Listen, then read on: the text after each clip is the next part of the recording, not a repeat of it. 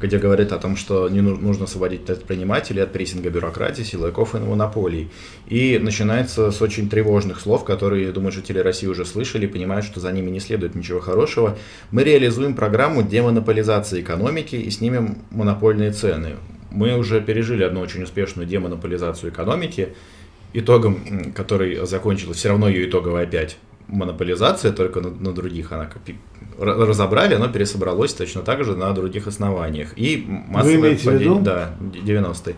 И массовое падение а, уровня жизни. Поэтому, когда говорят, что вот сейчас мы займемся демонополизацией, и там у него прям есть, что э, у меня где-то было выделено, почему-то распечаталось, но не все. Еще говорится о том, что нужно будет э, покончить с, моноп... с секторальными монополиями и там тоже провести демонополизацию. Но самое и в энергетической сфере, и везде-везде, то есть даже в стратегических отраслях экономики нужно будет провести демонополизацию. Это очень, очень, не, не, не, очень тревожный звоночек. Ну вот, к примеру, есть э, такой экземпляр отличного это отличная демонополизация энергетической сферы, как реформа РАО ЕС. Угу. Удачная была реформа РАО ЕС, она сильно привела к тому, что повысится конкуренция, что вот снизится цены и так далее. Дело в том, что скажем... Спросите людей в регионах, где сейчас проблемы с отоплением возникли. Угу. Ну, ветерные отключения и все, и все прочее.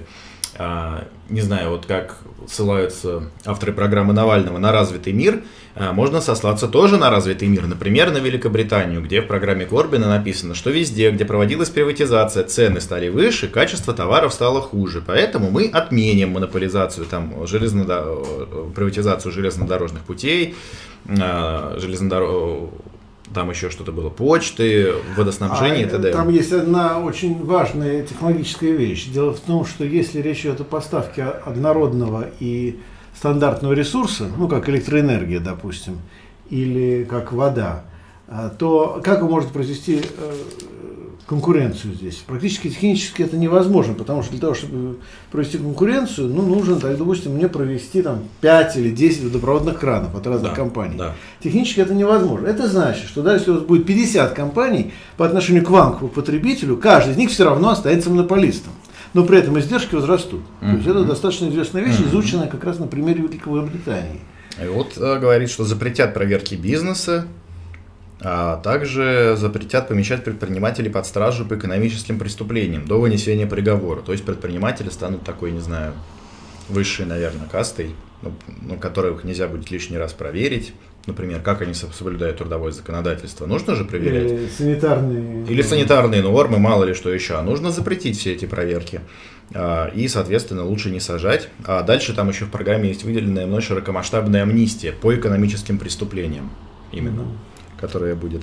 И отдельно крупно выделено, что в России непонятный капитализм, при котором государство контролирует больше половины экономики и командует бизнесменами. Однако, во-первых, нужно ну, как мы смотрим, сколько? Если смотреть стандартный показатель доля государственных расходов в проценте от ВВП, то Россия занимает далеко не лидирующие позиции. Гораздо больше во Франции, Австрии, в Нидерландах, в скандинавских странах, безусловно, государство по этому показателю гораздо больше контролирует. Но здесь делается главный вывод, что такая система мешает развитию страны. То есть сам факт, не то, что государство контролирует больше половины экономики и делает это неэффективно. Нет, нет, нет. Сам факт того, что оно контролирует, мешает развитию страны, развитию страны. А то есть проблема не в том, что люди контролируют плохо, а что это вообще нельзя контролировать. Mm-hmm. Это единственный вывод, который можно сделать.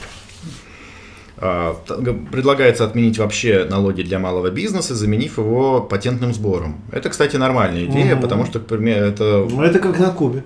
Собирать... Как у Фиделя Кастро. А, собирать э, налоги с ряда небольших предприятий зачастую это административно сложнее, чем просто сказать им разово платите. К тому же денег они принесут действительно все равно немного.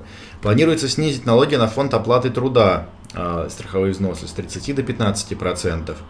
Э, пишет, пишется, что это снимет барьеры для повышения зарплат в частном секторе экономики. То есть нужно, наверное, полагать, что пока не было этих налогов, все стремились работодатели повышать зарплату. Вот. Угу. Не спал ночью просто, как я повышу зарплату работнику?